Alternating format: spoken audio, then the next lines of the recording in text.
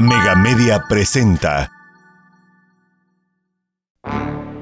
Megamedia Televisión, un espacio para analizar y profundizar la noticia.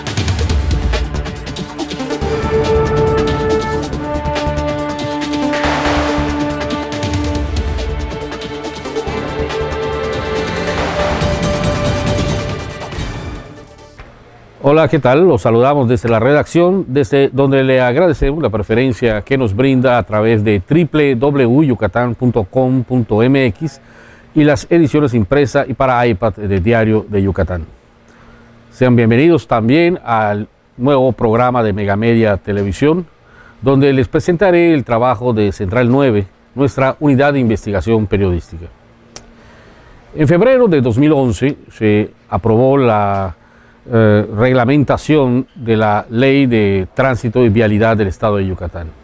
Un año y ocho meses después de que entró en vigor esta reglamentación, muchos ciudadanos no conocen en qué consiste y quienes lo saben no lo practican.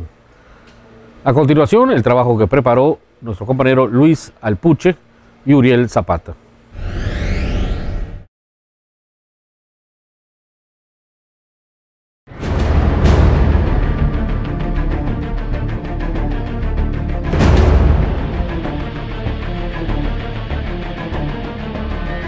El pasado 21 de febrero de 2011 se publicó el decreto que da vida al nuevo reglamento de la Ley de Tránsito y Vialidad del Estado de Yucatán. Un año y ocho meses después de su entrada en vigor, muchos ciudadanos aún no lo conocen y otros conociéndolo no lo respetan. René Flores Ayora, especialista en ingeniería de tránsito, explica cuáles son algunas de las infracciones más comunes que cometen los automovilistas. El casi el 98% de las infracciones o de las multas de tránsito son ocasionadas por el exceso de velocidad. Muchas veces hay avenidas en donde se debe, debe de ir a 60 kilómetros y se va uno a 70 o hasta 80 kilómetros por hora. El desconocimiento al reglamento no es exclusivo de los conductores. También los peatones lo infringen en forma frecuente y con ello ponen en riesgo sus vidas. Al respecto, el comandante Arturo Romero Escalante, director de la Policía Municipal de Mérida, explica. El peatón tampoco sabe andar a veces en la, calle, eh, en la banqueta. ¿sí? Eh, realmente el reglamento dice que las calles se deben de cruzar en las esquinas, ¿sí? o en lugares señalados para eso. Pero la gente eh, piensa que, el peatón piensa que al subirse al paso peatonal ya no pasa nada, ya es casi, casi inmune, sin fijarse si viene algo, ¿no? Te cruzan mucho a media esquina.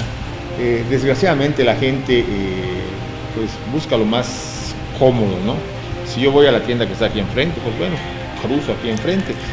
Y uno de los peligros, y aquí hemos tenido algunos accidentes así, cuando empiezan a cruzar entre los carros, cuando los carros están detenidos en un semáforo, empiezan a cruzar entre los carros.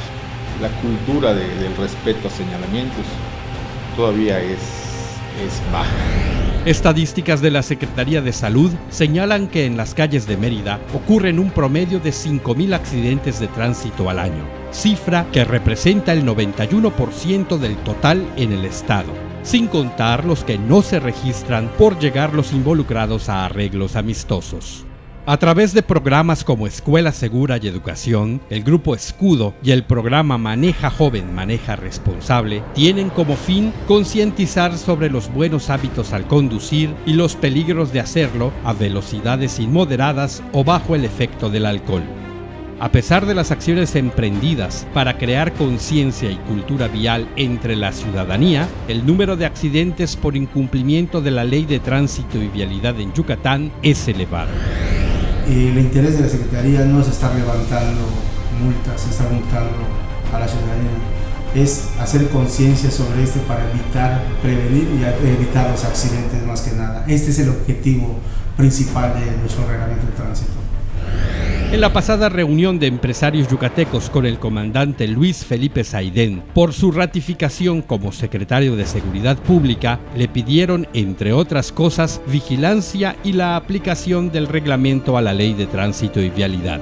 José Manuel López Campos, vicepresidente de la Cámara Nacional de Comercio, lo resumió con una frase, lo que ya es ley, hay que ver que se cumpla.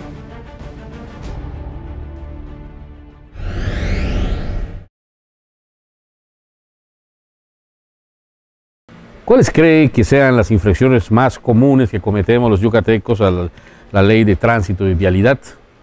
Nos gustaría conocer sus opiniones, eh, las podemos recibir con mucho gusto en la siguiente dirección, comentarios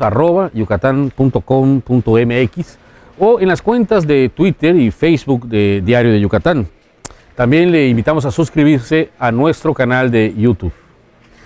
Me despido invitándole a sintonizarnos en la siguiente semana y a mantenerse informado a través de yucatán.com.mx y en las ediciones impresa y para iPad de Diario de Yucatán. Hasta la próxima.